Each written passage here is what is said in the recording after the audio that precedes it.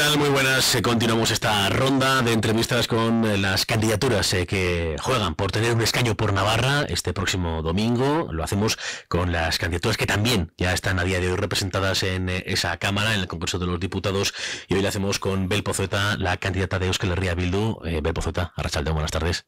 Buenas tardes. Bueno, Berriro Eringo Dugu es su lema de campaña. Mm, en Euskal Herria Zehazmeatz, ser Eringo Duzue, ¿qué es lo que van a hacer? Pues lo que vamos a hacer es profundizar, eh, como hemos hecho, hemos, hemos trabajado por políticas progresistas, políticas que posibilitan que la gente viva mejor, políticas sociales que han llevado a que mucha gente tenga un avance en derechos y en libertades también.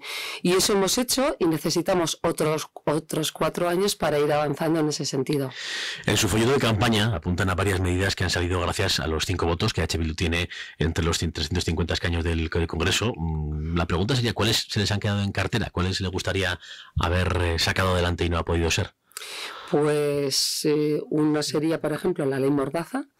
La ley Mordaza eh, que se ha querido eh, derogar algunos artículos lesivos en esta última, en los últimos meses de, esta legislatura, pero que nosotras considerábamos que era un simple, una operación de maquillaje. Vemos necesaria que esa ley que ha llevado que muchísimas navarras y navarros eh, hayamos sufrido multas por manifestarnos, por, por, mostrar también el derecho a la libertad de expresión, por reunirnos. Eh, también una ley mordaza que ha posibilitado que muchas personas migrantes hayan sido devueltas en lo que se llama la devolución en caliente, o también que muchas personas eh, hayan sufrido también las consecuencias de las, pelotas de goma. Esa ley hay que derogarla y bien, es uno de los objetivos que tenemos. Y también, por ejemplo, hoy día 18 de julio, bueno, con la ley de memoria, vemos que hemos conseguido avances en la ley de memoria, pero se han quedado aspectos que para nosotras eh, tendríamos que profundizar claramente. También, bueno, pues tenemos la ley de, secretos oficiales, que lo que posibilita es el que no se aclaren muchos hechos como los de Germán, los de Miquel Zabalza, que hacen que, se aparezca un manto de silencio y oscurantismo y que no posibilite la, verdad, la justicia y la reparación para muchas víctimas. En el caso de la ley de secretos oficiales diríamos que no hubo grandes consensos en torno a, cambiarla. Sin embargo, lo que se refiere a la ley Mordaza, que es una ley, diríamos, muy, bueno, pues muy, muy significativa de la época de gobierno del Partido Popular de, Mariano Rajoy, no hubiese sido mejor, diríamos, mm, quitar eh, algo que no quitar nada. Vuelvo a decir, una operación de maquillaje que mantiene los artículos más lesivos no nos parece que sea avanzar.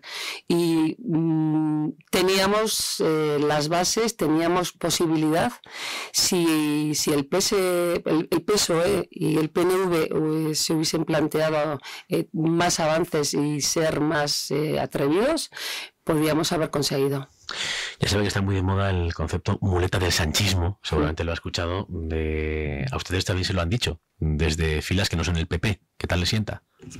Bueno, eh, yo pienso que, la ciudadanía está viendo si somos o no eh, muleta del sanchismo. Nosotras estamos en Madrid y cuando damos votos eh, a favor de políticas concretas es porque hemos negociado y hemos visto que con esas políticas traemos derechos y avances en, en calidad de vida para la ciudadanía navarra. Entonces, realmente traemos, traemos avances, vuelvo a decir, y no es ser muleta o simple muleta, sino que estamos con hechos concretos y con programas concretas. Ayer dijo que había que profundizar en las medidas de la reforma laboral. Mm, ¿Fue un acierto, después de lo que ha pasado, más de un año de vigencia de esa reforma, haber dicho que no a la reforma laboral?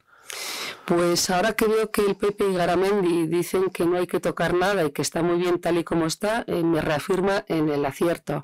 Vemos que hay también puntos que son lesivos que no se reformaron. Fue una reforma maquillaje en esta ley también. Por ejemplo, eh, en los 45 días eh, que se, daba por, en, los casos de despido, volvemos a decir que, que eso hay que recuperar.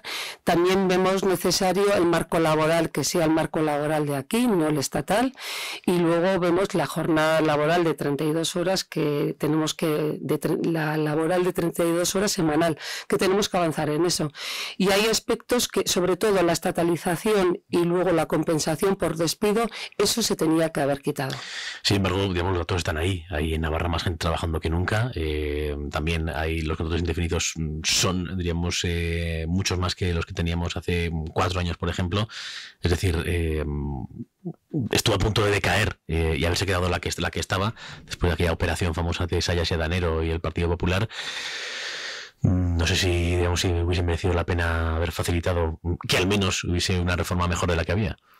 Mm, yo me reafirmo en que teníamos había posibilidades en esto también. Teníamos que haber avanzado más, necesitábamos un, un PSOE más audaz y, y, desde luego que si tenemos que decir de avances, vamos a trabajar porque el empleo tenga más calidad, vamos a trabajar porque el marco laboral relacionado además con las condiciones laborales y las condiciones de vida de aquí de Navarra, se, la referencia sea esta y vamos a trabajar sobre todo porque bueno eh, los avances y los reconocimientos y sobre todo los derechos de, la, de, la, de los trabajadores y trabajadoras sean realmente respetados. Por eso la calidad del empleo sería uno de los hechos en los que habría que incidir más. Eh, quizás se está diciendo que hay más personas trabajando, pero tendríamos que preguntar si esas personas tienen realmente un empleo con calidad y un empleo digno. Hoy es 18 de julio. ¿Qué le dice esta fecha? Pues cosas no gratas, desde luego. Y, y, además me dice que todavía está pendiente un reconocimiento de la verdad de lo que ocurrió, una compensación también a las víctimas y, y sobre todo conocer la verdad.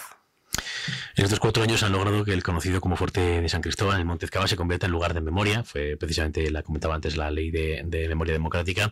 Ahora que estamos en campaña y que, digamos, bueno, pues se habla de un posible cambio de gobierno por un gobierno del PP apoyado por Vox, ¿le preocupa que se ponga eso en cuestión? Sin duda, sin duda.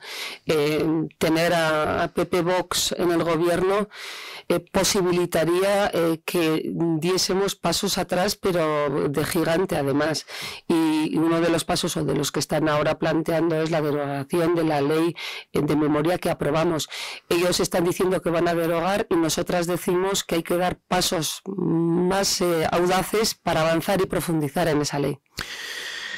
Con los caídos, ¿qué hacemos? Es el segundo monumento franquista más grande de, España eh, y su compañero de lista, Joseba Sirón, gobernó la capital durante cuatro años y no consiguió hacer nada con él. Bueno, eh, Joseba Sirón dio eh, quizás pasos más importantes y audaces que el propio gobierno español en su momento. Sanjurjo ya no está aquí, y eso es importante. Y, lo que sí, bueno, posibilitó fue un debate para crear proyectos diferentes, para alternativas diferentes a, eso y luego dar a la ciudadanía también una voz para decidir.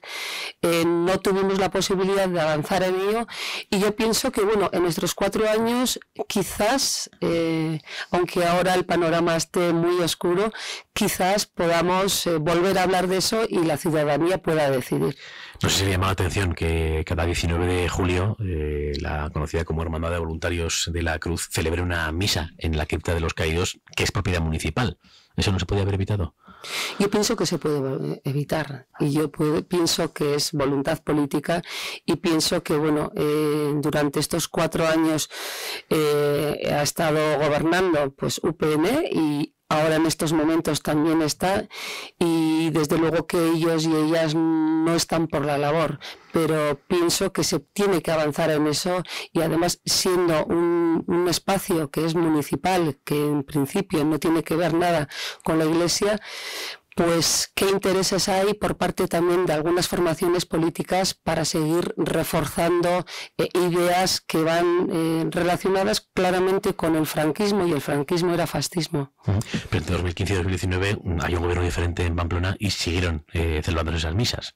Bueno, sigo diciendo que también que, que los, las fuerzas estas vivas todavía tienen mucho peso y que es muy difícil también realizar cambios eh, estrictos en poco tiempo, pero si hay voluntad se pueden redirigir esos cambios y se pueden por lo menos ir abriendo caminos para ir avanzando. Segunda campaña de Bel en las generales, después de llegar como debutante hace cuatro años a este mundo de la política activa de las instituciones, ¿qué es lo que ha aprendido y qué es lo que pensaba que era diferente? Bueno, aprender muchísimas cosas, porque quizás eh, se muestra una imagen de que los políticos, las políticas tienen que saber de todo y eso no es así.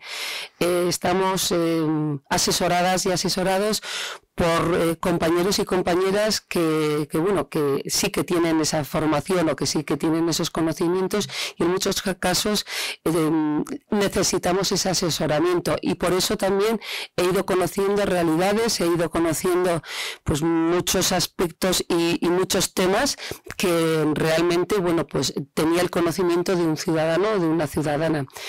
¿Y qué es lo que, lo que no he conocido o lo que me ha sorprendido? Esa es la pregunta. Bueno, pues me ha sorprendido eh, ver que todavía eh, hay una parte muy importante en el Estado español que está mirando a la derecha, ultraderecha. Me ha sorprendido también eh, la capacidad que tienen para, para recoger o coger espacios que no les corresponden. Y me ha sorprendido todavía que en la izquierda española no haya realmente, no se atreva, que haya un gran complejo para hacer frente a esa derecha. Bel candidata de Euskal Herria Bildu al Congreso por Navarra, gracias por estar hoy en la SER. Suerte el domingo. Y